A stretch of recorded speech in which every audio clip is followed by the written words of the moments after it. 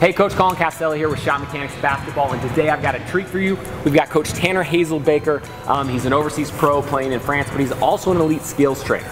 Um, the reason why I brought him in is he's one of the best ball handlers I've ever met, hands down, especially his in-game handles.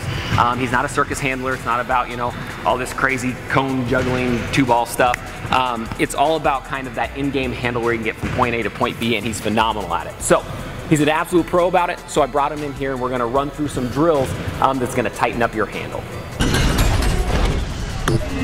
All right, so today we're gonna work on a variation of the box drill. So we got four cones set up, two at the free throw lines, two at the box down there. Um, so what we're gonna do, Tanner's gonna start out at a cone at the top, and he's gonna attack dribble drive to the first cone. And he's gonna use an outside crossover. So he's crossing over left to right, moving this direction. From there, he's always gonna keep the ball in his outside hand, hitting that uh, outside crossover. So he's going left to right again. And then once you hit the cone you begin with, you're gonna hit the opposite hand. So he's gonna plant on the outside and then cross over with his right hand. Wham, we're working on that change of direction, trying to be as low and as quick and as explosive as possible. So again, he works his way back around, hitting it, hits this last one, and he's back to where he started. So again, you can start slow, work on the footwork, work on the ball control, and then once you get comfortable, you can speed it up.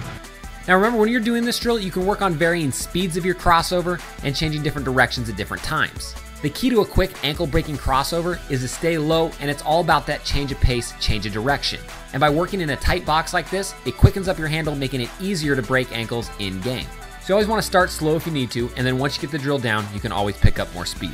If you want to learn more from uh, Coach Hazelbaker, go ahead and follow him on Instagram. It's at Hazel Hoops. Um, I follow him. I love his stuff. Watch it all the time. It's great for basketball motivation, ball handling stuff. Um, it's overall really, really good basketball education. So go follow him, uh, Hazel Hoops. Also, if you're new to Shot Mechanics, hit that subscribe button. We're putting out four to five videos every week, and they're going to get you better. I guarantee it.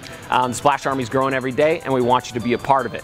Also, if you're new, go ahead and click the button up here or the link in the description, to get a free copy of my top three favorite shooting secrets. These are shooting secrets you can plug directly into your game and probably increase your shooting percentage overnight. So you're gonna wanna check those out. Um, until next time, I'm Coach Collin Castellaw.